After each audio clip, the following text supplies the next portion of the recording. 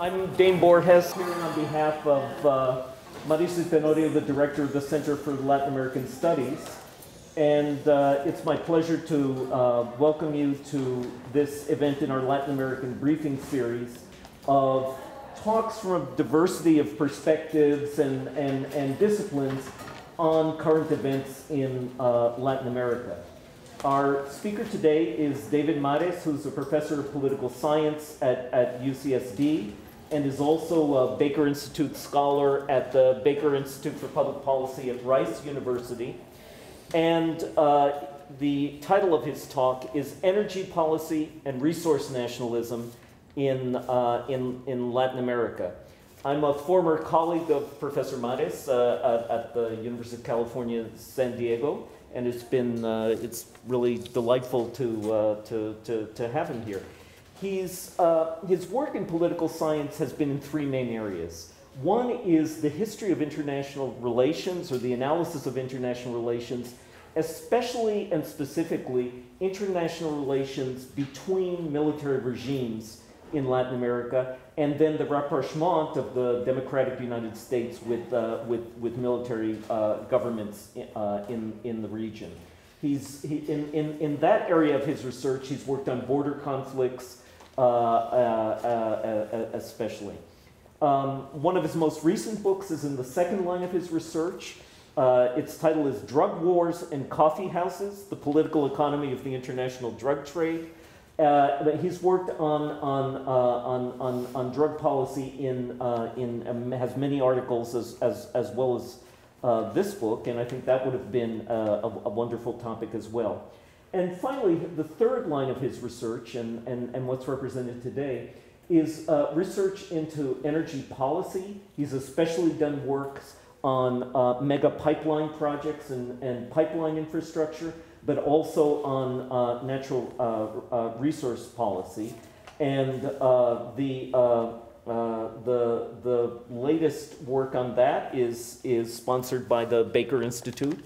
Uh, he's also, I should say, director of the Center for Iberian and Latin American Studies at, at, at UCSD and has been, uh, has been responsible for, uh, for uh, leading research projects in this area there. Finally, uh, this is not on his CV, he's an accomplished documentary photographer who's made a practice in, in, in his many years of, of, of living and research in Latin America. He's been professor at the Colegio de Mexico, uh, visiting uh, professor in, in, in Chile and, and in Ecuador, but he's always gone with a camera. And, and, and I've, I've seen uh, parts of his portfolio, which is a kind of deep documentary portfolio you get if you photograph places over, over long uh, periods of time. And I wish that, that, uh, that we could also see some of that. Maybe you could show us, you've got your, your oh, computer, the tip yeah, of that iceberg. Wow. But uh, he's, he's, uh, he's a multifaceted scholar, and it's a great pleasure to, uh, to have him here today. David. Thank you, David.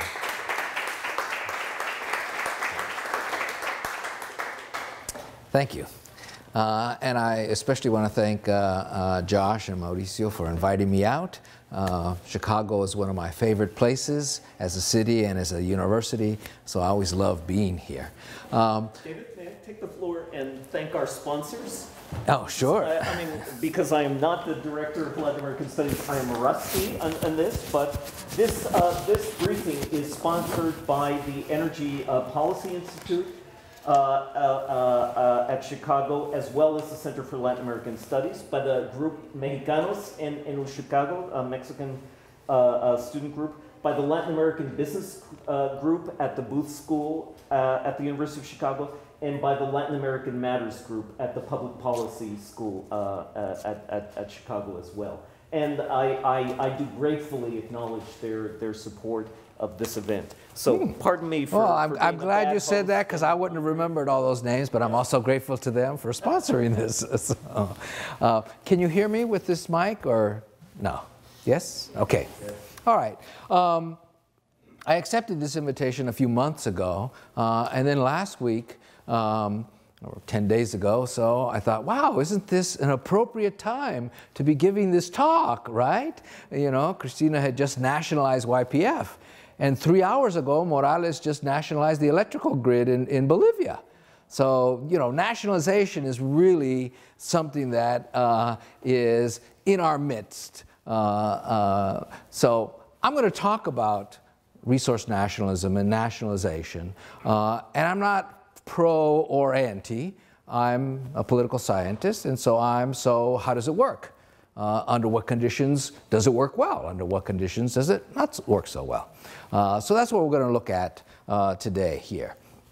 Uh, let's just start with Argentina and the arguments um, that uh, Cristina used to justify the nationalization uh, underinvestment. Underinvestment by um, Repsol YPF. Um, underinvestment meant that Argentina wasn't producing enough uh, gas, natural gas in particular, uh, and uh, therefore needed, the state needed to take control of the company. Uh, the evidence, national, natural gas production dropped 10% in 2011 from its peak in 2006.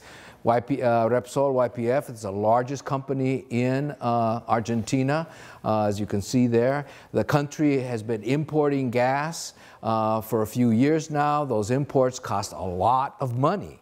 Okay, $10 billion uh, in last year, importing fuel, most of that for liquefied natural gas. Uh, so this was the argument that was used to um, justify taking control of the company. And here are just a few graphics so you can see it really is a dramatic decline. Gas production in Argentina fell dramatically uh, over the past decade. There's one. This is a graph that shows you uh, not production, but it shows you drilling. Uh, wells drilled. One of the things in the hydrocarbon sector, whether you're talking about natural gas or oil, is you have to drill to know if you actually have something. You don't just drill in order to pull the stuff out of the ground, but you drill in order to find if you have something. Geology could tell you there's a probability that there's hydrocarbons there, uh, but you won't know for sure how much, what the quality is, uh, until you actually drill. And when you drill in an area that that has not been drilled before. It's called a wildcat drill.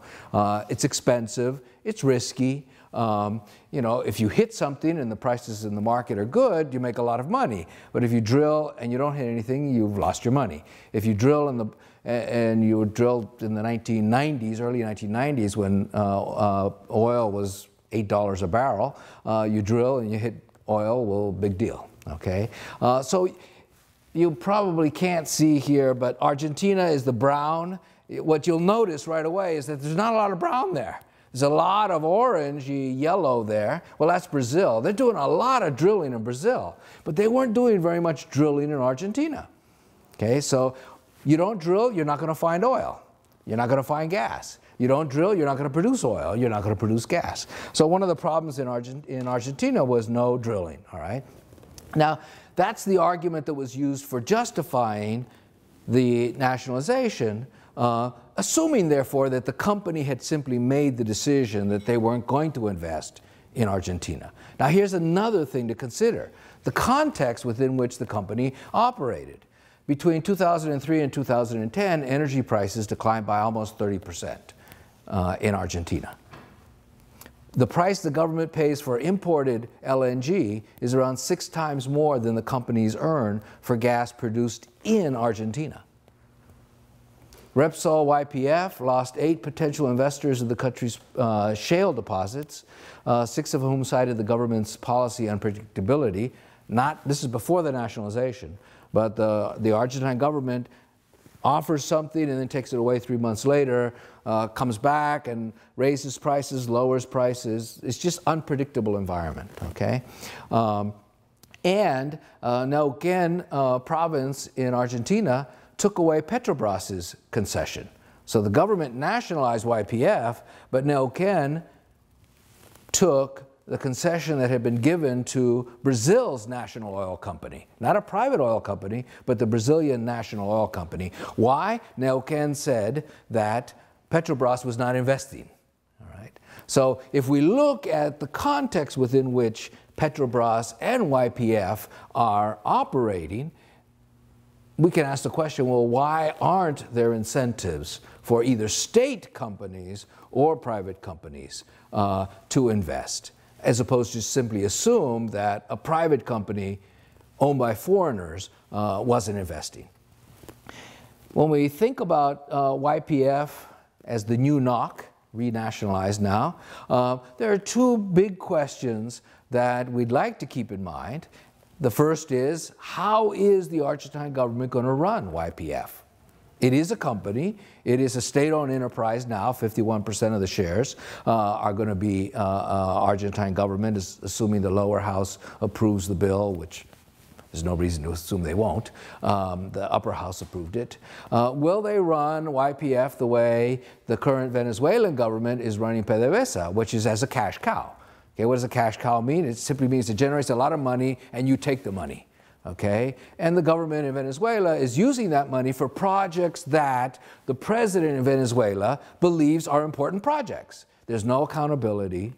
Okay, there's no reinvestment into, into the state oil company. Uh, it's money that goes to the president. And the president then distributes it to particular misiones, to particular generals, to whomever. All right. So will the uh, new YPF be used that way? Will it be used like Pemex? Pemex, another state-owned uh, uh company, national oil company. The Mexican government, the president doesn't use it in the same way, but the government of Mexico uses Pemex for its national budget. So instead of having a fiscal policy that would generate revenue for the government, what the, what the government of Mexico does is it takes the money from Pemex, so no reinvestment into Pemex, it takes the money from Pemex uh, and puts it into the national budget. Some of that national budget goes to state government, some of it goes to schools, et cetera, et cetera, but it goes into the budget. It doesn't, uh, uh, Pemex has been starved of capital uh, for uh, a while now. Or will the Argentine government run uh, YPF like Petrobras? Petrobras um, in Brazil is run very much like an international private oil company. Okay? Uh, it does have, unlike PDVSA or Pemex, Pe, uh, uh, Petrobras does have private shares. So there are private investors in Petrobras. Unlike PDVSA and Pemex, uh, in Brazil, there's an independent regulator uh, who essentially runs the fields, uh, uh the auctions for who's going to get the fields. Uh, Petrobras has to compete with other companies uh, in order to get into places. That's changed just a little bit uh, since 2010 reform, but still by and large uh, the same. Um, and the result of that is that Petrobras is an internationally competitive uh, uh, company. It has lots of advantages that private companies don't have that come out of being a state company, uh, but it's being run in a way that keeps it internationally competitive.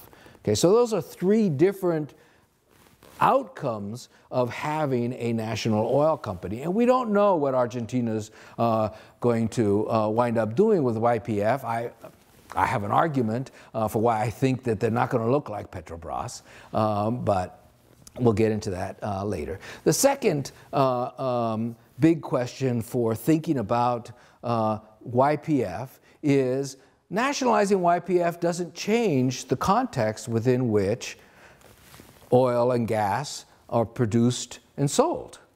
Okay, so the context in Argentina continues to be one in which prices are very low for oil and gas.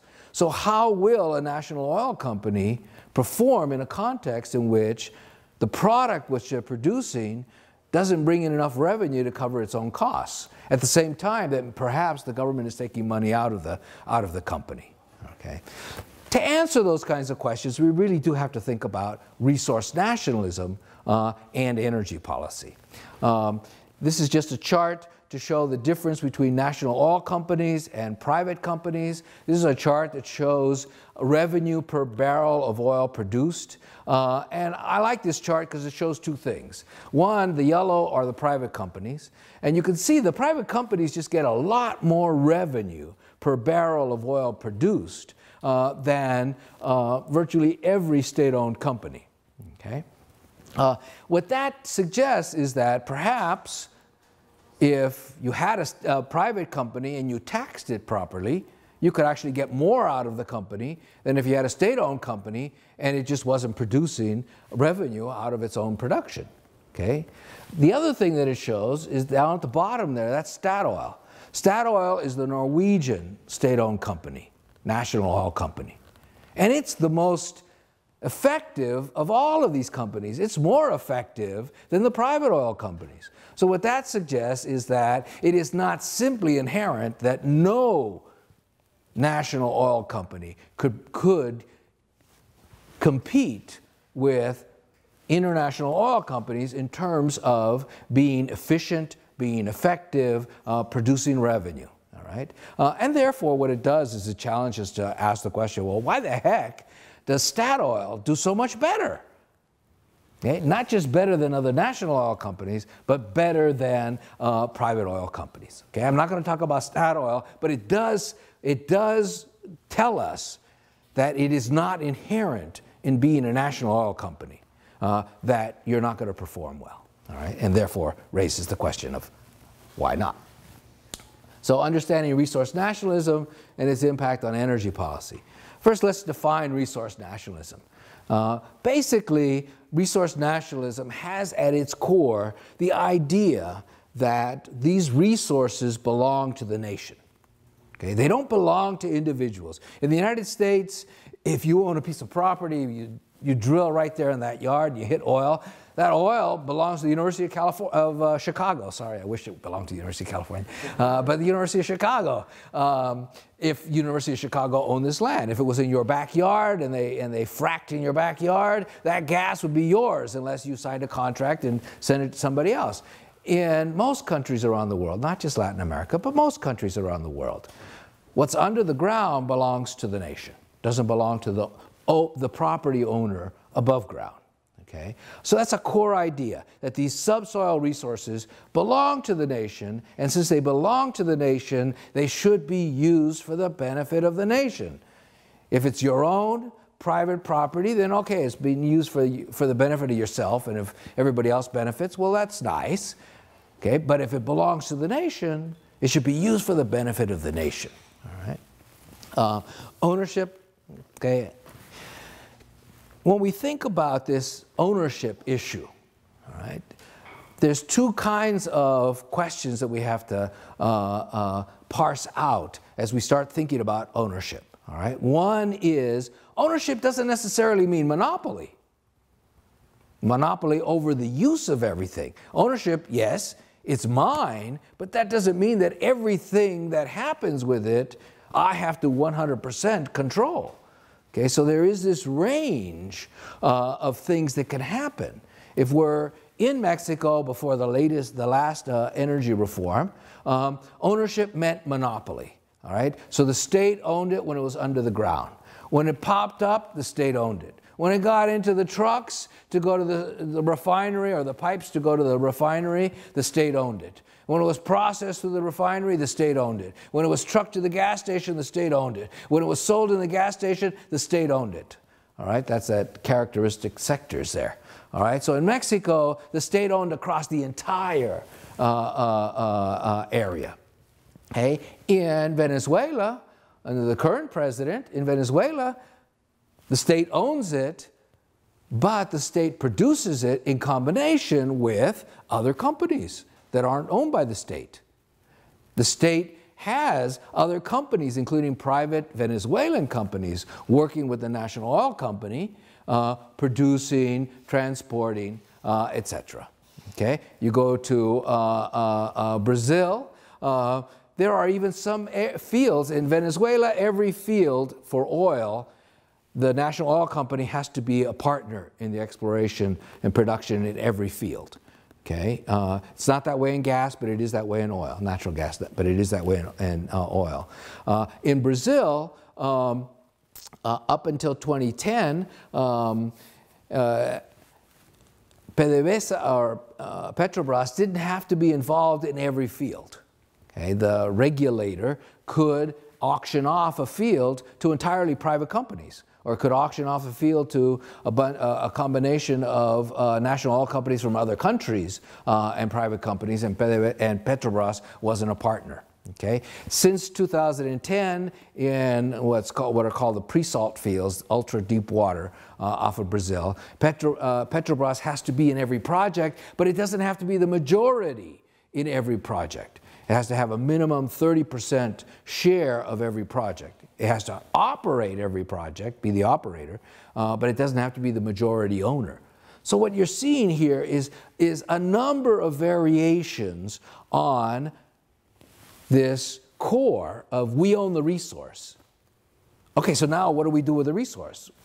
Lots of different ways in which the nation can go about generating wealth out of the resources. Uh, and then we'll see there are also lots of different ways in which the nation can appropriate the wealth that's been generated from these resources. So there is no one model of resource nationalism. Uh, sometimes you talk to reporters and they think resource nationalism means, oh, the government takes everything, you know. Uh, it just doesn't work that way. Historically, it hasn't worked that way. Um, now let's think about resource nationalism as a policy and not as rhetoric. Because this is, a, I think this is a very important distinction to make, and it's part of what helps us uh, ask the question about what's the best way to generate wealth for the development of the country. Okay. Uh, the goal of resource nationalism is to maximize rent appropriation. What do we mean by rents? Rents are excess profits, not just regular profits, but excess profits for a variety of economic reasons and geology. Uh, natural resources have some rents inherent in them, but then there are other rents that come up uh, as well. Um, and so, what resource nationalism would like to do is appropriate the maximum amount of rent um, uh, and use that rent for the development of the nation. Right? And when I say the development of the nation, I mean not for the development, not for the benefit of specific interests within the nation. So if I'm using my, the rents that I've got from my petroleum in order for the Mexican Petroleum Workers Union to have super great jobs and job security and health care that's better than anybody else, and we're not taking resources out of Pemex and in the oil sector to broaden that uh, for the nation, then what we can say is that the oil workers union in Mexico is essentially privatized part, part of the rent generated by oil for its own benefit. All right? So if we go back to what's the goal of resource nationalism for the benefit of the country, this doesn't really fit in there. Doesn't really fit in there. What are the means for doing this? Uh, the, uh, appropriating the rents, uh, the, gov the government sets the terms. Okay, the government sets the terms for exploration, production, transportation, and distribution of energy. Now, if we, again we're sticking with the with the ideal of resource nationalism, what the government should be doing is setting those terms so that you can maximize rent appropriation and put that into national development. Now, maximizing rent appropriation doesn't just mean taking money.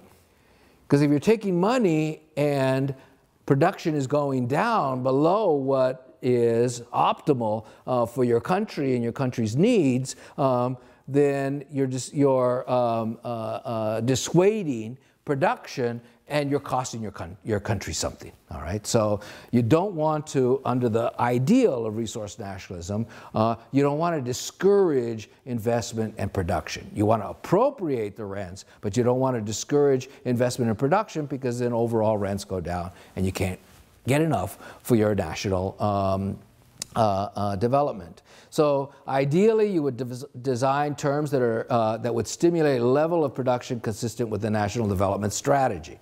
Okay, not again, not simply something that's going to benefit a specific interest. Okay, so you're not going to set terms that you have to have domestic content uh, for oil rigs uh, in your fields because the Oil Rig Association contributes to your electoral campaign. All right, that would be the government setting terms, but not for the benefit of national development, for the benefit of a specific interest. Right, it would raise costs to production, it would create all kinds of problems, and you wind up having uh, lower output. Two issues drive energy politics and therefore energy policy.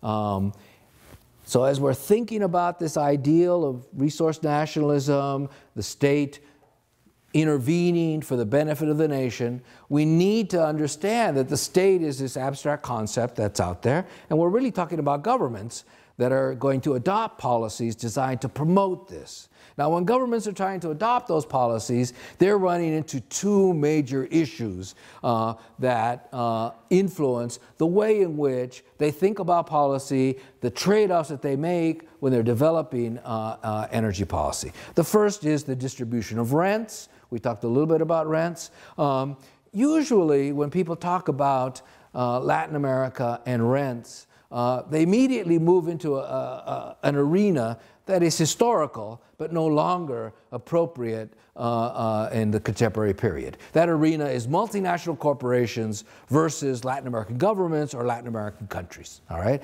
So ExxonMobil got left Venezuela because Chavez squeezed it too hard, uh, and that fits nicely into that old paradigm, all right? The government squeezes, the private company says, ah, I don't put up with that, and leaves, all right? Uh, so there is still some of that uh, going on uh, in Latin America, but the distribution of rents issue uh, now affects other Latin American countries as well, okay? Why? Because Latin American countries have citizens who are now investing in other Latin American countries. It's not just Chileans investing in Peru or Bolivia. It's not just Argentines investing in Paraguay. It's not just Brazilians investing in Uruguay and Paraguay and Bolivia and Ecuador and everywhere, right? Uh, the Brazilians are everywhere. Um, okay, so private citizens of Latin American countries are investing there, and the national companies of Latin American countries are also investing in other Latin American countries. So when you get the question about the distribution of rents in Bolivia around gas production, the biggest producer of gas in Bolivia when Morales nationalized the gas fields was Petrobras. Okay, so what, what Morales was doing by nationalizing those oil, those gas fields in Brazil was taking rents away from Petrobras, therefore from the Brazilian government, okay, of Lula, okay, taking rents away from them and bringing those rents back into Bolivia. Now we can think that's a great idea, okay, but it is nevertheless one Latin American country with another Latin American country. It's one Latin American government with a state owned corporation of another Latin American country. And in this particular case, it's two leftist governments. Okay? Um, so within the region, there are questions about rent distribution. Uh, within Latin American countries, there are questions about rent distribution.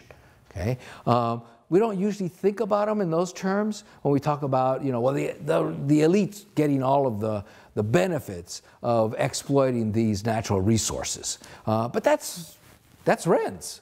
So what we're talking about is within countries, elites get it, poor don't get it, okay? Or urban groups get it, rural groups don't get it. Or non-indigenous get it, but indigenous don't get it.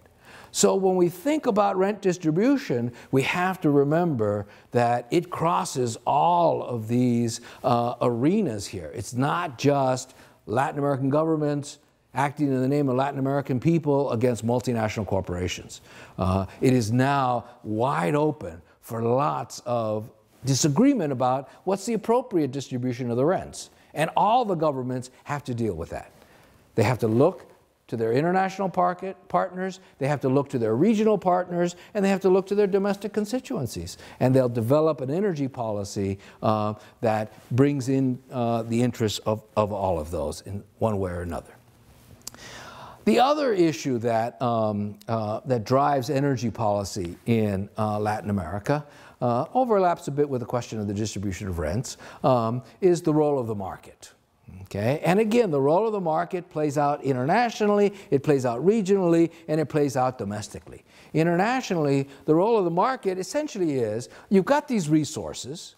Are you going to let the market determine where those resources should go? Okay? Or not? Okay? In Peru, the Peruvian government has natural gas. Um, they developed a field uh, in combination with uh, international companies, uh, and that field was developed for export. And so they export that gas uh, to Mexico and the United no, they I forget who Peru exports it to. Um, the Bolivians were going to export to Mexico.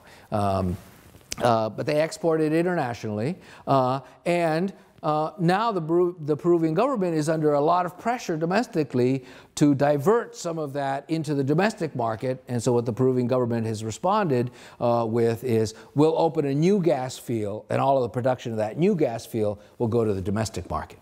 Okay? But that's going against, quotes, market signals and market price. Okay? Uh, the market is saying, we want your natural gas. We want to suck it out of you. Uh, and the Peruvians who don't, who can't compete in the market because they don't have the money to compete in the market, um, are saying, no, no, no, we want it. So that's a question of how, what role is the market going to play here? Right? Regionally, um, and I really like this example, uh, the regional question about markets is important not just because of market signals. If we looked at an economic model of Bolivian natural gas. All right? And we looked at uh, geography and saw who Bolivia is surrounded by, saw what the potential for Bolivia getting to market are. Bolivian natural gas should be going to Chile. It's its natural market for, for its gas. So economics would tell us Bolivia is going to send its natural gas to Chile. But there were riots in 2003 in Bolivia when uh, uh, Sanchez de Lozada's government not going to send the gas to Chile, it just transported through Chile and sent it to Mexico. Why? Because Bolivians have this issue with Chile. It's called the outlet to the sea, right? And so the people rioted in the streets uh, just because it was going to transport there. They likely riot uh, if you were actually going to sell it to Chile. And Chile worries about that, and so they don't want to be dependent on it, et cetera, et cetera, et cetera.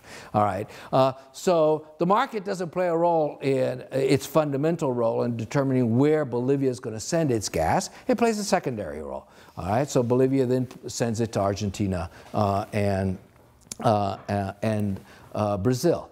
Okay. Um, for importers, the market question is also important. Okay. Chile since they're not going to import from, from uh, Bolivia, but Chile needs lots of energy.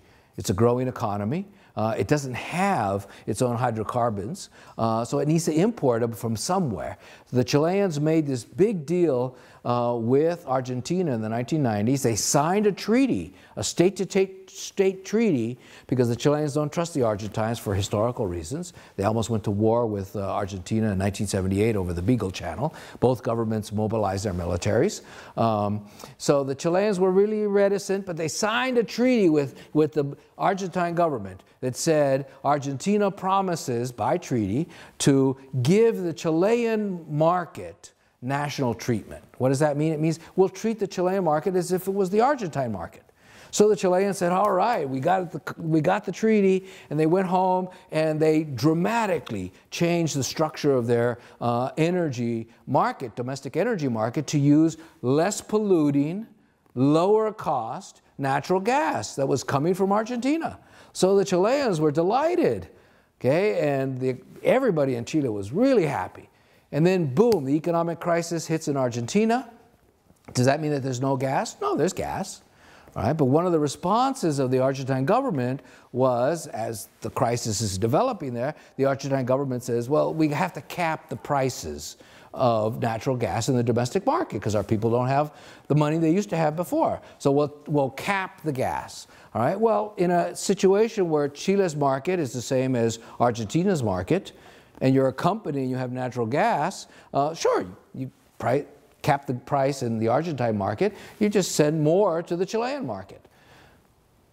So that meant shortages in Argentina. So then the government said, well, we'll tax the exports from Argentina to Chile. And they put a tax on the exports. Uh, well, the price rises in Chile to reflect that, that uh, uh, added cost, right? And the gas continues to flow to, to Chile. So then the Argentine government has to say, we're going to put quantitative restrictions on how much gas can leave Argentina, because they were also supplying gas to Brazil and Uruguay. Okay, uh, and that's part of that story about gas production in, in Argentina going down. But here, the point is that Chile, which was depending on its neighbor, Latin American neighbor, Argentina, to import gas, winds up getting burned, uh, uh, if you will. And so now they're importing gas from outside of the region. Uh, the role of the market in domestic production and consumption, Argentina is a, a, prime case for it. It's not the only case. We see it uh, uh, over and over again in other places. But if you're going to have prices that are controlled, particularly when they're controlled at such low levels, uh, uh, you, what you're saying is the market's not going to determine the value of this uh, commodity to the consumers in my country. Okay, the government's going to determine that. Okay, and that means that there's a trade-off between what the consumers are getting and what the producers are getting. Okay, unless the government wants to step in and say, well, we'll pay the producers the same that they would get if they exported this to Chile or to Uruguay or to Brazil, uh, and we will cover the difference in the cost with the consumer. So the government will step in there and cover that. So the companies are happy and the consumers are happy. The problem with that is the domestic budget can't support that. So what the government wants to do is lower what the, what the producers are getting for their gas, bring it down close to what the consumers are getting, so you, you, you decrease that. All right, uh, and the result of that um, uh, is production declines. Uh, but when we're thinking about uh, energy policy in Latin America, we have to think about these pressures over where are we going to let the market work, how much are we going to let the market determine it? Uh, because those are, that's a fundamental issue that all of the energy policies uh, struggle with. Why does energy policy matter? Sometimes people say, you know, hey, it doesn't matter what a government does. When prices are good, the government's benefiting. The people are benefiting. When prices are bad, the people are suffering, uh, the, the country's suffering. So it really is more about international prices. It's not so much what governments do or not. We're talking about an international commodity in the case of oil, and increasingly an international commodity in the case of natural gas. Well, that's a nice sort of first cut at it, but real, the real world doesn't work that way. When, when prices are high, uh, not all exporters do well. Some can't even produce to their OPEC quotas. Prices for oil are very high right now. Venezuela cannot meet its OPEC quota. Okay, OPEC quotas are designed to try and keep prices uh, high, right? Well, Venezuela can't produce up to its OPEC quota. What does that mean? It means that even in the terms that the Chavez government um, have set up for their energy policy, they're losing money because they can't produce and therefore they can't export to their OPEC quota. All right, so they're not doing as well as they could. Um, do all importers have, have trouble adjusting? No. Some importers, when prices are high, some importers have trouble adjusting, others don't. Argentina is having a real difficult job adjusting. Chile's adjusted quite reasonably. You know, obviously they'd be happier if prices were lower, uh, but with high prices, they've adjusted and the economy continues to grow, uh, uh, and they've done uh, okay. When prices are low, not all exporters have trouble adjusting. Prices were low in the late 1990s, uh, and Bolivia did quite well. Um, Mexico in the 1990s was doing quite well. Prices were low. Okay? Do all importers do well when prices are low? You're importing a commodity, its price is down, so we're all going to do much better now. Well, no. In the late uh, 1980s, early 1990s, Peru and Brazil were having difficult times, even though they were importing energy and energy prices were low. So price doesn't determine what's happening with energy and energy policy in these countries. It really is my bias. It really is about politics. Uh, uh, so we really need to think about energy policy uh, and politics. There are variations um, in the way in which governments respond uh, to these opportunities, to these challenges. Uh, there are variations across countries, different countries uh, doing things differently. There are variations within countries uh, over time as well. I just want to show you a couple of, of tables. Uh, I'm writing a book on this, uh, so I've got a couple of tables here. Um, and uh, we won't spend a lot of time on them. Uh, but these were nationalizations in Latin America um, uh, up to the 1980s. My book's got a, a, historical section and then a contemporary section, so this is part of historical section. Um, and um, Okay, so here we see uh, unexplored area, uh, let's see, uh, exploration, production, refining, transportation, marketing. Um, what you see is countries are doing things at different points in time. Some countries do them multiple times. then they go back on what they did earlier. These are the reversals, right? Um, and it doesn't really matter what if you have a democratic government or authoritarian government.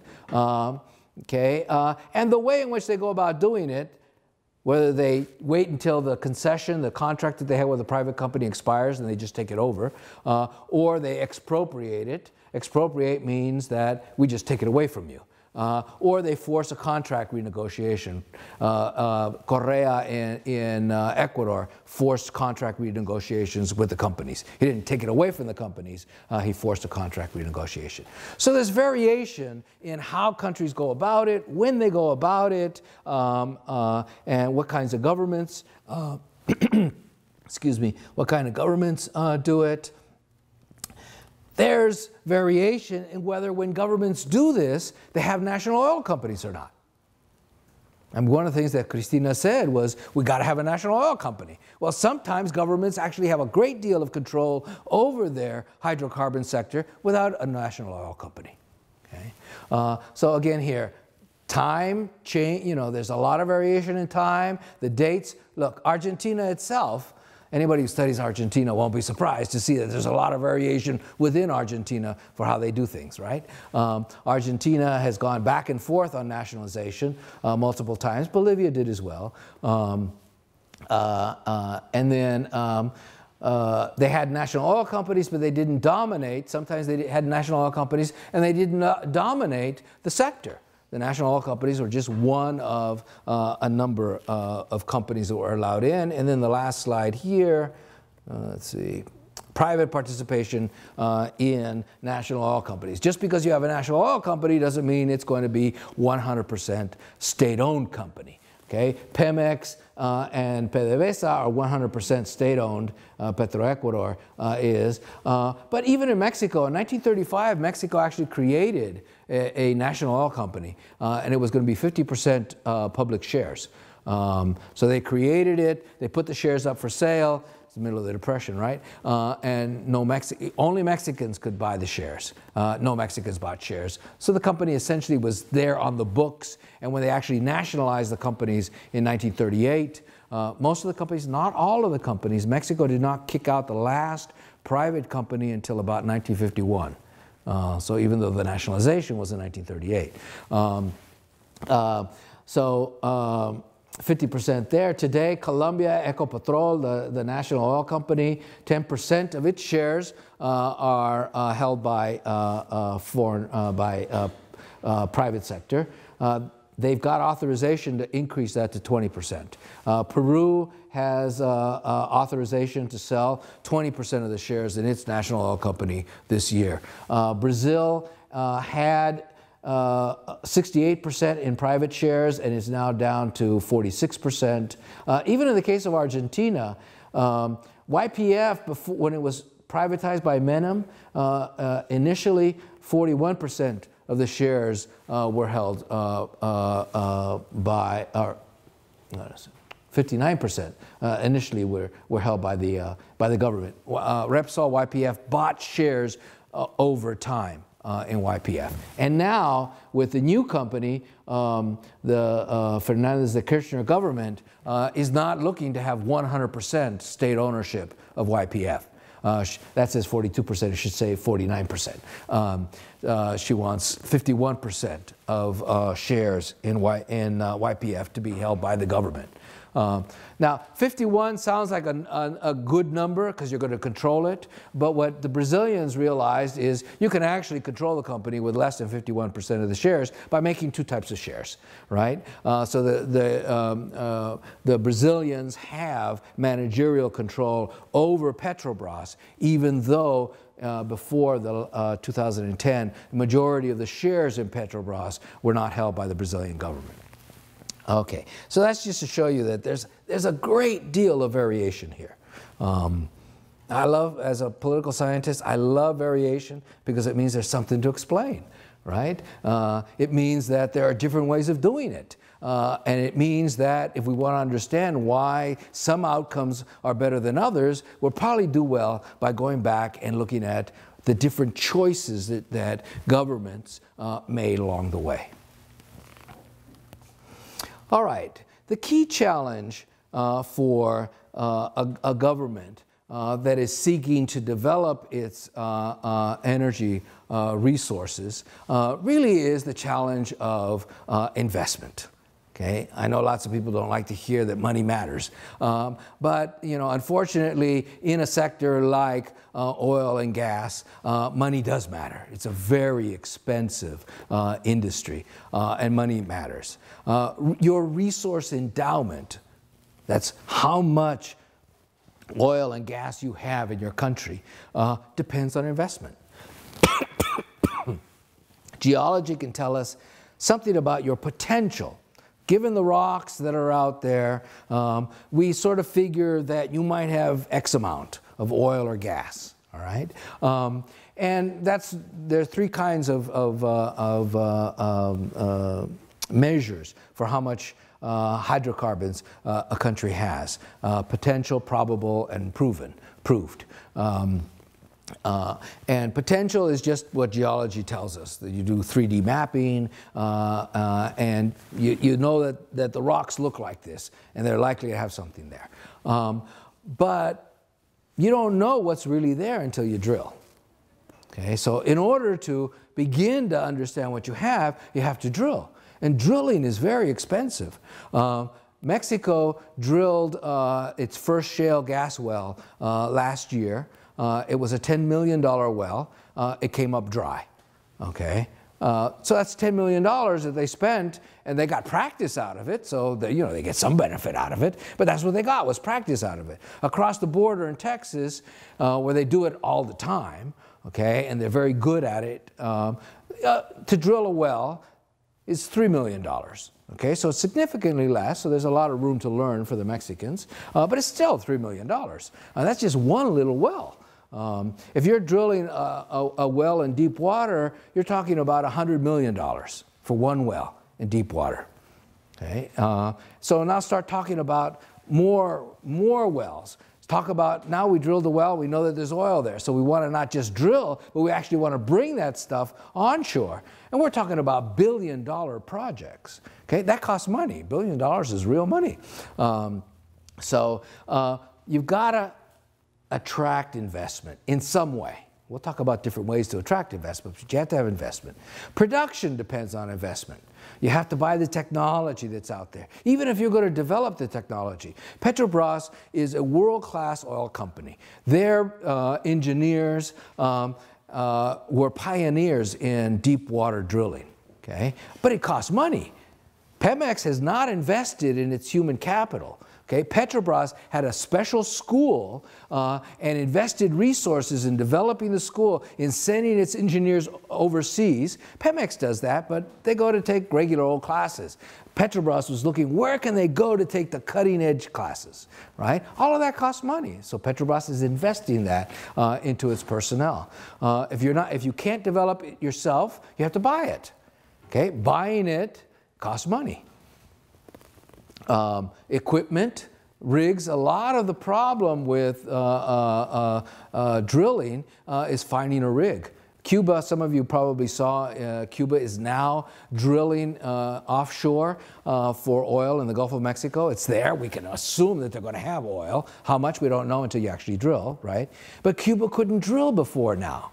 Anybody know why Cuba couldn't drill before now? Embargo. Okay, how did the embargo affect them? The embargo is still on now, but now they're drilling. Okay, pipes, okay. Not just pipes. Okay, all of the technology to go into a, a drilling rig, okay. Cuba could not use anything that came from a company uh, that somehow the United States had something to do with, right? So they had to go to China, get the Chinese to build a rig, find technology from around the world that was not subject to the US embargo, bring that technology to China, build a rig in China, bring that rig from China to uh, the Gulf of Mexico, and now finally that whole process is ended uh, and they're there, okay? And Repsol is one of the companies that's going to help the Cubans, all right? Um, okay, so technology, equipment, human skills. If you don't have enough uh, uh, skilled personnel to run an operation, you can't run that operation. This is one of the big challenges for Petrobras now. By law, Petrobras has to be the operator. What does that mean? It means it's the one in charge of every project. They don't have enough skilled people to run those projects. What does it mean to be a skilled person to run a multi billion dollar project where you are drilling down thousands of meters? Okay, and you've got all of this equipment around you, and your people are running this project. That's not only a lot of responsibility, it takes a, a, a team that is extremely uh, uh, well trained. Um, that's expensive. Why? Because if these people aren't getting what they want from their national oil company, they'll go work for a private company. Okay, a lot of the PDVSA people are now working for private companies in Colombia. Okay, so companies have to be able to pay for the technology, the equipment, and the human uh, capital. Um, and then investment capital has opportunity costs. What do we mean by opportunity costs? You put it here, you don't put it there. Okay? And those opportunity costs don't just mean that uh, you put it into natural resources or you put it somewhere else. It also means you put it into this country's natural resources or not that country's natural resources. And it's not just a question of what international oil companies do. When Petrobras makes a decision to drill a well in the Gulf of Mexico or off the west coast of Africa, it's making a decision of where to put its investment. Okay? Uh, putting it there means it's not going to put it here. Okay? Why isn't, Pe why isn't Petrobras drilling in Neuquén in Argentina? Because they're using their resources to drill somewhere else where they think they're going to make a profit. Okay, so, you know, it's about where you can raise capital and where you can get returns on, on capital. So all of these uh, governments face this issue. Whether you're Chavez, whether you're uh, Uribe, uh, you know, whoever you are, you, you face this issue of how to raise capital. Okay? So how much government control is compatible with raising sufficient capital to keep your oil and gas industry moving forward? It'd be nice if we had a, a number, X, all right? You've got to raise X. Well, it really depends, all right? And because it depends on a number of factors, that helps us understand variation as well, all right? It depends on geology, okay? Chavez has a super advantage, all right? He has a super advantage in that he has now the greatest reserves of oil in the world. He has more oil than Saudi Arabia. Okay, it's not the same quality, but in terms of volume, they have now certified that the heavy, the heavy oils uh, in Venezuela. So Venezuela has the largest uh, reserves uh, of oil. Venezuela also has a ton, 200 TCF, trillion cubic feet, uh, of natural gas, which also puts them up in the top uh, uh, area. Not the most, but it puts them up in the big players. All right, so they have a lot of oil and gas. What does that mean? It doesn't mean that people are going to put money into Venezuela and put more money and more money. It means that people are going to want to be there. They're going to want to be there. So what you see is Chavez can squeeze more than somebody who doesn't have very much oil because the oil companies have to be where the oil is, right? If there's not very much oil in Chile, but Chile is going to treat you really well, well, you'd much rather be squeezed by Chavez, but be there. Okay? Chavez isn't going to be around forever. You're there. So, what the oil companies are doing in, uh, in Venezuela is they're maintaining their stake in Venezuela because Venezuela is a huge prize. Okay? Chavez wants more production. They're not giving him more production. But Chavez knows not to squeeze too, too hard because then production will fall even less. All right?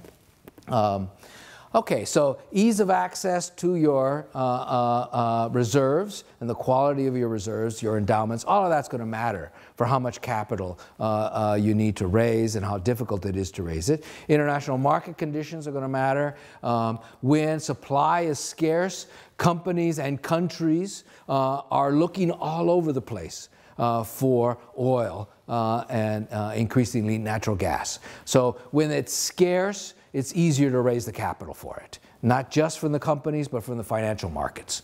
Okay, um, and it depends on control over the government. All right, what I mean by control over the government is what kinds of, of controls does a government have on it? Okay, it kind of seems silly if you're not a political scientist to, to talk about controlling government. Uh, you know, go, we talked earlier about government controlling the oil companies and government controlling access to the natural resources. And now we're talking about actually controlling the government. Um, well, controlling the government turns out to be really important. It's important for uh, two things, essentially. One is the credibility of government policy. What we mean by credibility is the government says it's going to do this, it will in fact do that. Okay? Um, that credibility comes up when you have the same president, but especially comes up when you change presidents, when you change parties in office. Okay, so what makes that credible? What makes it credible is that there would be a cost to the government of changing its policy. Okay, where does that cost come from? It comes from somewhere that has an ability to impose costs on that government, and we can call that controls. All right. Um, not controls in the sense of, a, of a, a, little car and you've got an antenna on it and a thing no. But controls in the sense that you can set up its you can set incentives up there for it to behave in a particular way okay? Um, and then the other factor that's important for government uh, is for thinking about who sets up those incentives for the government. Because that's going to have a fundamental impact on what actually happens when the government gets these rents what actually happens when resource nationalism does guide energy policy and the government gets all this money coming in? Is it going to go to produce public goods or is it going to go to produce private goods? Whether it's for the Mexican oil workers uh, or for uh, the private companies that, that uh, uh, uh you know, manufacture pipes. Okay? It doesn't matter which group, it's a private uh, good, not a public good. So that is influenced by, again, who controls uh, the government.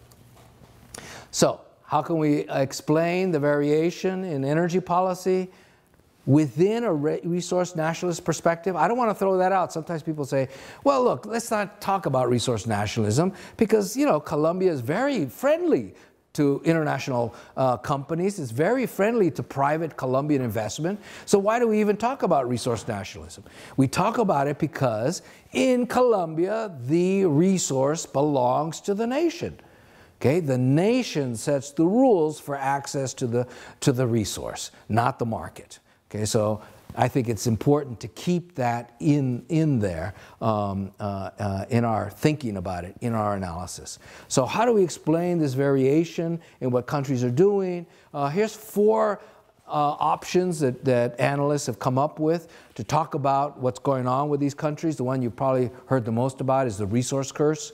Uh, the resource curse says you've got all of this natural resources. Uh, it means you don't have to tax your people. It means you don't have to pay attention to your people because you just get all this money coming in. Um, and so governments run amok, uh, essentially, uh, and you get bad government and you get guerrillas uh, and civil war as everybody fights over the rents, et cetera, et cetera, et cetera. So think of a number of African countries, okay? Um, now, resource curse um, is very popular uh, uh, uh, in the press, in academics, uh, in lots of NGO uh, areas. But if we start looking broadly, all right, uh, then we see that in fact there are lots of countries out there that have lots of natural resources, that are well endowed with natural resources, uh, and nevertheless have good governments, uh, have stable governments, uh, have effective policies. We could start with Canada and the United States. They're both natural resource rich countries. Uh, we could go to Australia. Uh, here I've, I've, put in uh, Norway, Brazil. They seem to do pretty well, even though they have lots of natural resources. So the idea of a curse, I mean, a curse, if I put a curse on you, you know, you have to get somebody to uncurse you. Uh, curse is not a good way to think about this. It's not a curse. It's a challenge, but it's not a curse. Okay? So another way to think about, you know, what, where do we see good policy, uh, where do we see bad policy, is to think about, well, where markets work. Lots of people come up with this uh, uh um, argument. Well, in these countries, they let the market work, and therefore you get effective policies, you get efficiencies, you get growth in the industry, et cetera, et cetera. And obviously, where you have problems, the market's not work. The market is not allowed to work. Okay. Well, it turns out that really there are very few places where the market works unfettered. Uh, there are lots of places um, where, in fact, uh, um, uh, government intervention is there, and nevertheless, uh, uh, uh, the industry is doing well. Okay? Even Canada at one point put a, a, um, um a windfall tax uh, on their oil companies when oil prices shot up to $150, some of the Canadian provinces. Um, so some people would say that's interfering in the marketplace. Uh, but the Canadians did it, all right? Electoral democracy. Some, some people say, well, you know, if the country's a democracy, it's going to do well. Uh, if it's not a democracy, it's not going to do well. That's the key. So what you need to do is bring democracy here. Uh, and usually when people talk about democracy, they mean electoral democracy.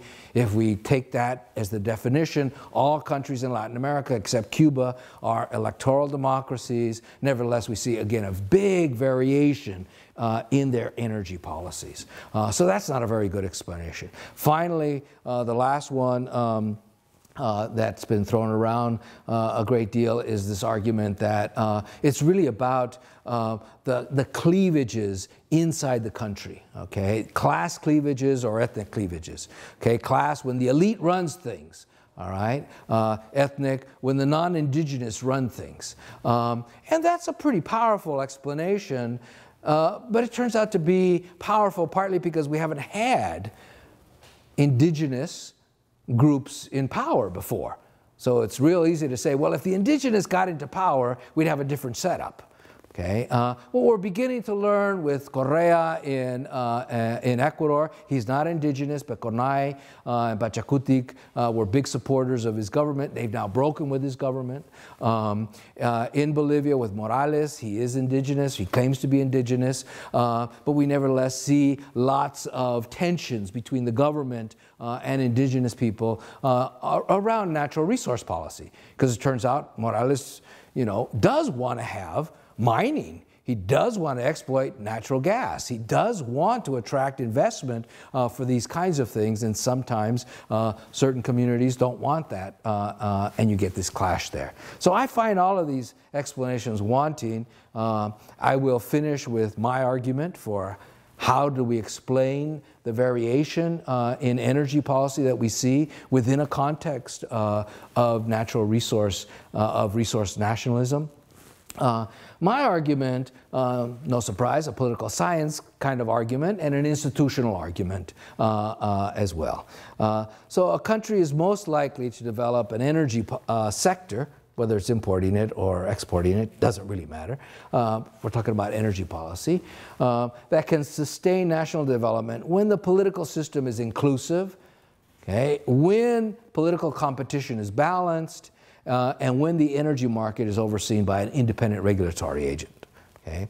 Um, I could take a few minutes to spin those out if we have that, uh, or I can just leave you to think about that. I'm not sure what time we have set. Let us ask you questions about this. Okay, so leave it there or go into those. Okay, so we'll leave it there. So what, what do I mean by inclusive? I, I don't mean that everybody votes. I mean that people support the political system.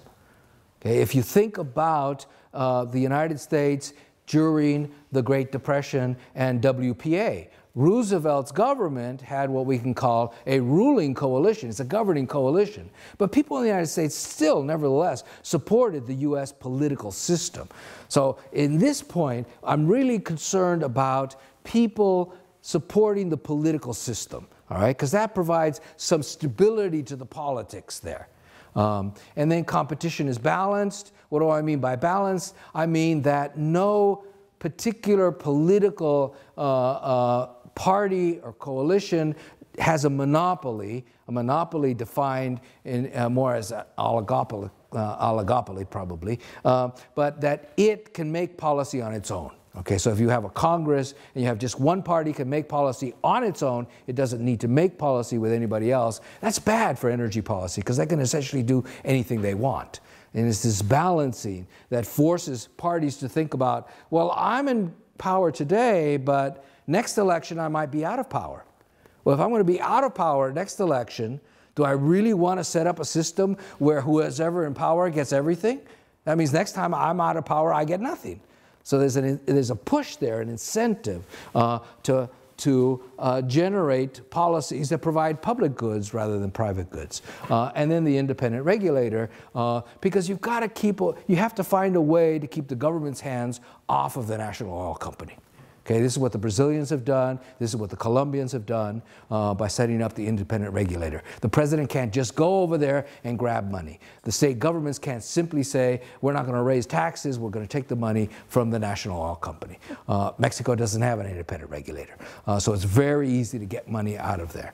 If you have three, my argument is you have those three, uh, in there, you are more likely to come up with a Brazilian, Colombian contemporary scheme. They're different, okay? But they both fit in this category where you actually see the industry continuing to progress. Uh, and you see the rents that the state captures from that industry actually going into national development, uh, not into uh, uh private goods for uh, uh, supporters of the government. So we can open it up.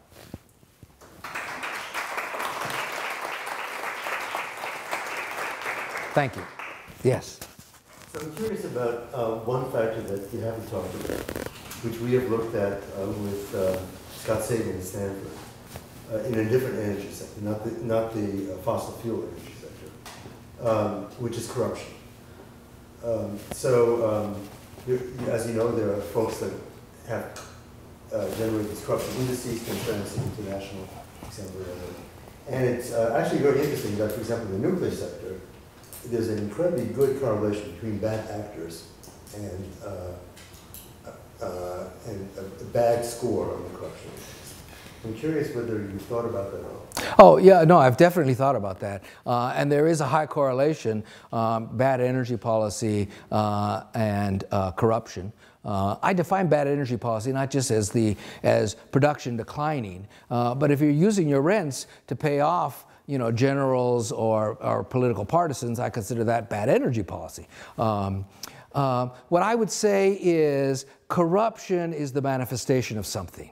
People are able to be corrupt uh, for some reason, uh, and I think that would be captured here. Um, uh, the independent regulator uh, would require uh, accounting uh, internationally legitimate accounting uh, from the national oil company. That would make it more difficult. Not impossible. Uh, we have corruption in this country, right? Um, uh, but it would make it more difficult. You would have lower levels of corruption if you had an independent regulator who had the capacity to actually regulate the knowledge. If you have a, if you have a regulator and they don't have either the resources or the skill to regulate, and they depend on the agency that they're supposed to be regulating, that agency becomes captive to that industry and is no longer independent. Okay. So, so I'm push a little bit on that. And the case that I'm interested in is Brazil.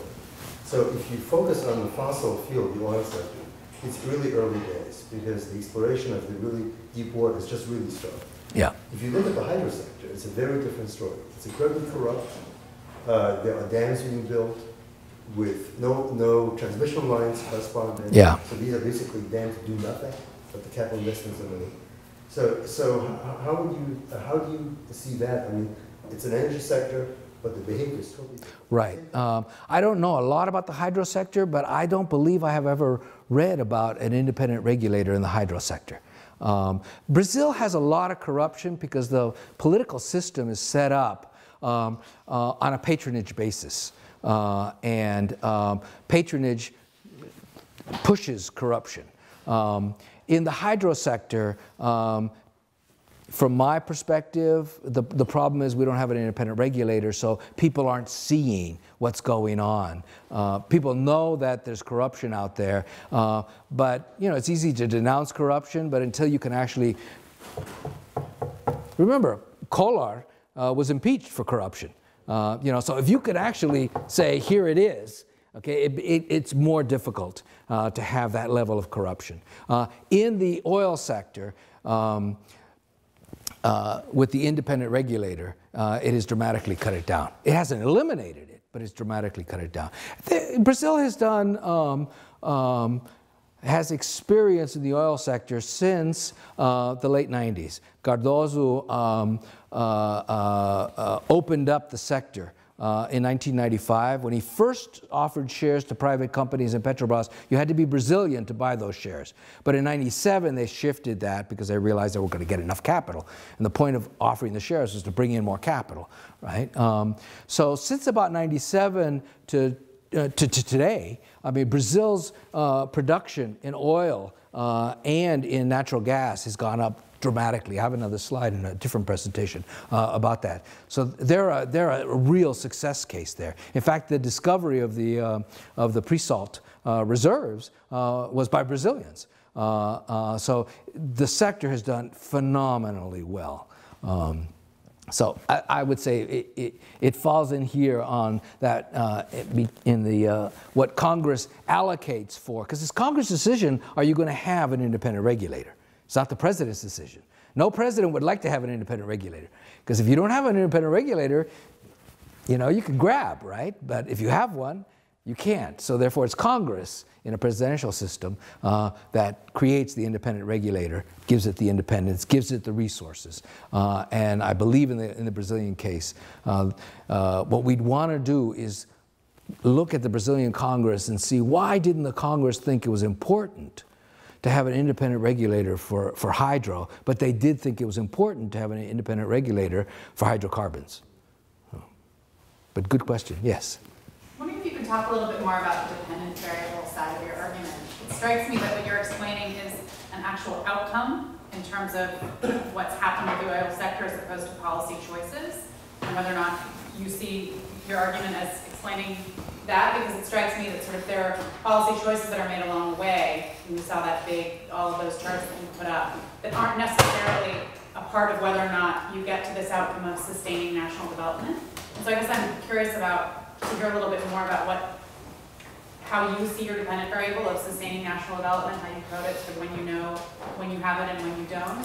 And yeah. then whether or not your argument can help us explain the intermediate outcomes so it's a continuous variable, clearly, there are sort of oh, yeah, yeah. yeah. outcomes that we saw on those charts. And if you're only explaining sort of Brazil and Colombia, or if you have anything to say about no no my books my book's got nine chapters country chapters in it uh, this is the first part of the book uh, and i haven't finished the book uh, so uh, uh, so i haven't explained uh, all, all, the countries all right and it's historical you know so it, it uh, the country chapters start with the 1980s uh, because a couple of people wrote about the oil sector, not the gas sector, but the oil sector in Latin America up into uh, the 70s. So I'm, I'm starting from there. Um, so I can't tell you how it's going to work in all of those countries. Uh, I can hypothesize.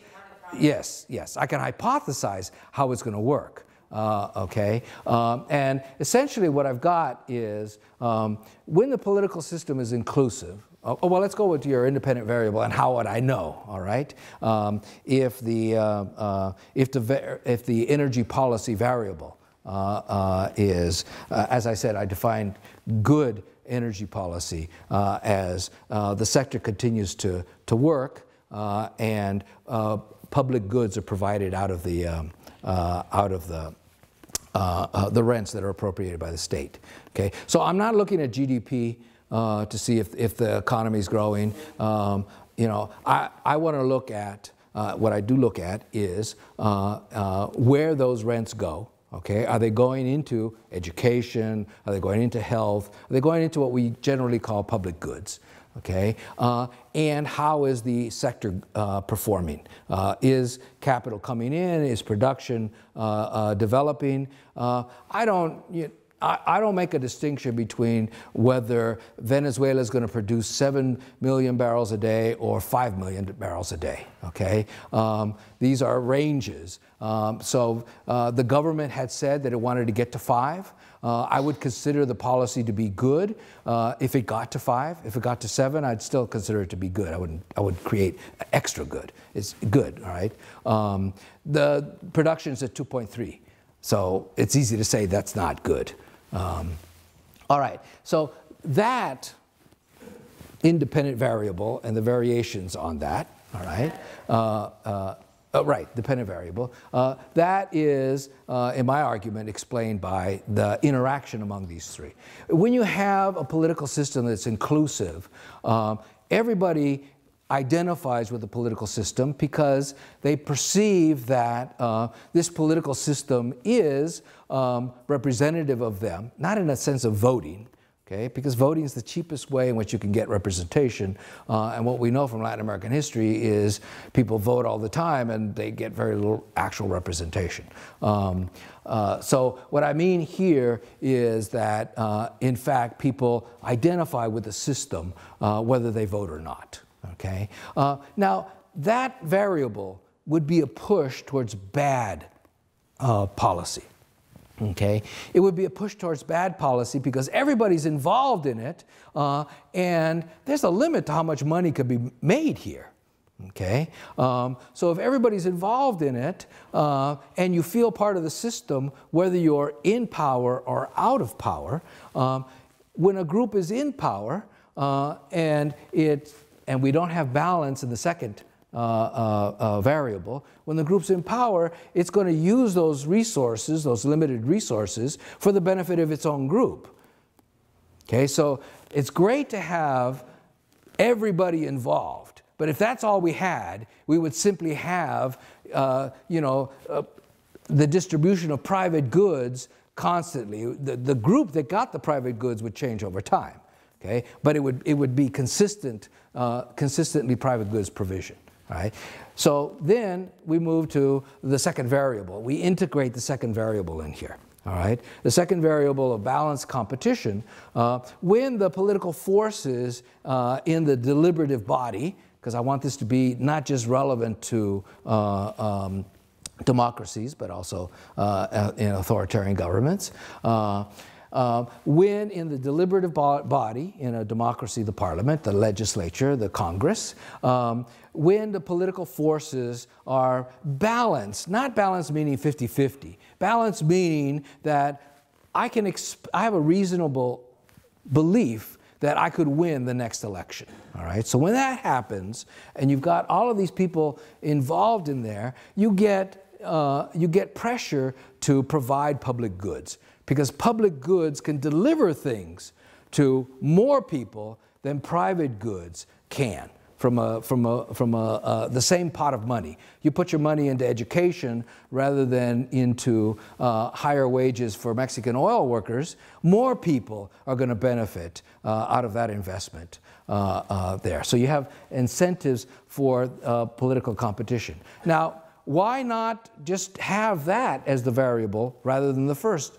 Why have inclusiveness in there? Because for me, if, if the system is not inclusive, two things are going to happen. One, people are going to protest against the policy that's being developed because they don't feel part of the whole process that developed this policy. When people protest, like i.e. in the streets in Bolivia, when people do that, you can't have a stable energy policy.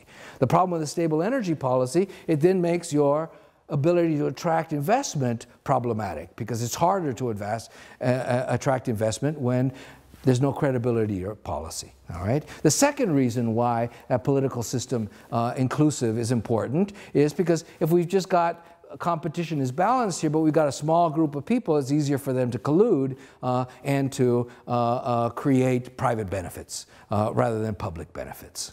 Okay, so you'd have to have both there. All right. Um, and then the, uh, the independent regulatory agent uh, is an important uh, actor there for reasons like corruption. Uh, because Congress can very well say, we're going to put this into education. But if you can't observe what happens when that money goes into education, if you can't observe what happens when that money goes into uh, uh, welfare programs, if you can't observe what happens when the national oil company or the co private companies that you're taxing generate the revenue, then corruption can take that money away. Or the, uh, uh, the private companies can come up with tax evasion schemes uh, that'll help them hide that money. Uh, so that uh, independent regulatory agent uh, is important for ensuring that the wishes articulated at the congressional level uh, actually do, the money actually does get there rather than uh, uh, a large portion of it being funneled off. So what I'm, my hypothesis is that the variables that we're going to see, the variations we're going to see in, in country performances uh, are going to be a result of, uh, of the, the interaction among these three variables here. Okay, so um, uh, yeah, so I've, I've, I've done this for Bolivia, I've done it for uh, Venezuela. Um, haven't finished the, the Brazil chapter. I did it uh, for Mexico. Um, uh, you know, nine country chapters takes a while. And you expect it to be systematic. So oh, yeah. balance equals X outcome, balance plus independent regulatory agency. Oh, yeah. Oh, yeah, definitely. Yeah. If it wasn't systematic, I wouldn't have an argument. So. Well, you could with the, if you chose not to do the continuous part of it and just look at that. Well, but we know it's, we know that there's a lot of variation there, and, and uh, you know, I, I will, uh, uh, I will do a better job if I can explain variation rather than yes or no, right? So. Take two more questions and then we'll close the phone? Um, so you briefly mentioned uh, the sort of Nordic countries and how well they, they've done in their of resources. Do you think if you have to place this like in, in a comparison with them, or, or what they're doing right, what they're doing wrong, how, how they fit in within these three sort of things, how would you? Yeah. Well, it's the same way. I mean, eh, you, you can't vary it. I mean, I don't know anything about Norway. All right, I read one book on Norway. All right, um, but um, you know, if I have an argument, what I have to do is be systematic about it. Say, all right, this is what I mean by inclusive all right? And this is how inclusive should impact, all right? This is what I mean by balance. This is how balance should impact. And when you put balance with inclusive, this is how it should impact. Unbalanced with inclusive, this is how it should impact. I've got those hypotheses in the, in the, the first three chapters. Uh, and then the independent regulatory agent as well. So what I should expect to see in the case of Norway uh, is, in fact, they have a very inclusive political system. Uh, they have a, a, political competition uh, in uh, Norway uh, that opens the possibility for other parties to come in. Now, um, you know, uh, again, I, I, don't know anything about Norway. This is my hypothesis of what I would expect to find, right? Um, and then they'd have an independent regulatory agent. Because they have that, Statoil does a really good job. They created this, uh, uh, this investment fund. The money really does go into the investment fund. It doesn't get diverted somewhere else. Uh, that investment fund really does invest in education, in health. Uh, it doesn't invest in uh, vacation places for the Statoil workers. Um, so that's what I would expect to see. What, is that the case for Norway? I don't know. We have to do the analysis. Yes. Oh, yes? Okay. The one chart you showed that had Statoil at the bottom, this is a follow-up question to his. Are there other ways of looking at oh, yeah. success of um, you know, profit maximization and just generating the maximum return to all shareholders, whether they be public or private? Um, you know, isolating from the later question of where does that money go, but just maximizing, is there, are there other kind of uh, different variables you would look at besides revenue, total revenue or average revenue? Yeah, yeah, yeah. I like that one because revenue is what the government gets uh, or could potentially get. Uh, uh, from you know this is th that chart since it was per barrel uh, it didn't really depend on how much production uh, so it's talking you know uh, it's it's given the production that you have uh, how much is there, how much revenue is there that you could potentially get. Um, uh, I have seen other charts with other, with, uh, other measures. Um, you know, the thing about all of these uh, charts is uh, you can pick variables that you think are, are relevant uh, and then do the analysis that way. Yeah, it just seems to me that if you're looking at some of the countries who've decided to subsidize their own consumption of, say, natural gas or oil, and thus accept a much lower, essentially per barrel compensation for that. Um, right, but where does the government get the money to subsidize the, uh, the prices?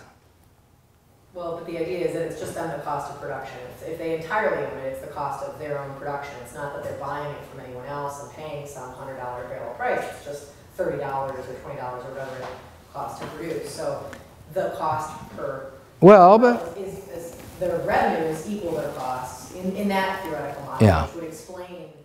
But if you, if, if you have something that's worth $30, all right, uh, that, that costs you $30, all right, uh, and in the market it's worth $150, and you say, well, I'm going to sell it to her for $30, okay, I've essentially given away the $120. Now, if I want her to have a, a better opportunity to do something, I might sell it for $120 and, and take that extra 100 and $150, take that extra $120, uh, invest it in a way in which she can actually, you know, develop something uh, that will help her do better. So, you know, we could do that. Um, Saudis do both. pardon? The Saudis The Saudis do that, yeah, yeah, both. Them. Yeah, yeah, unless you happen to be Shia. Uh, but, uh, so, yeah, yeah. Uh, but no, no, I mean, you know, there, there are different ways in which you could, you could uh, um, uh, distribute that. Um, uh, I think we could make an argument that it would be more efficient uh, to take this other route uh, rather than subsidize that. Uh, you know, I mean, I don't, I don't necessarily believe that Venezuelans have to pay $4 a gallon for gas, but to pay 10, 10 or 12 cents a gallon for gas, you know, I mean, there's a lot that Venezuela needs, uh, and they don't need particularly middle class people. Uh, that's a subsidy. All you know, when you when you do subsidies that way, what you wind up doing is subsidizing a middle class. You know, the elites they don't really need it, uh, but uh, but the middle class. We, I was on a project uh, looking at Mexico, uh, and uh, there was a uh, somebody in the project from Oxford did a study where he looked at if you just took the revenue from uh, oil, all right, and you gave that to everybody, what would happen in Mexico? You'd wipe out extreme poverty in Mexico, be eliminated overnight, um, and you would dramatically decrease poverty. Then he looked at, all right, this revenue goes from Pemex and it goes into the national budget. All right, where does it go in the national budget? And he did all these econometric analyses and whatnot, and he wound up showing that it goes to services that the poor don't make much use of, that the middle class makes a whole lot of use of. So it's essentially a subsidy to the middle class. You know, it's kind of like our uh, mortgage uh, tax deduction in the United States. It's a subsidy to the middle class. Uh, you know, we, we, if we want to help people at the bottom, there's probably a better way to do it. Um, so th- that's what I'm just asking here as, as an analyst.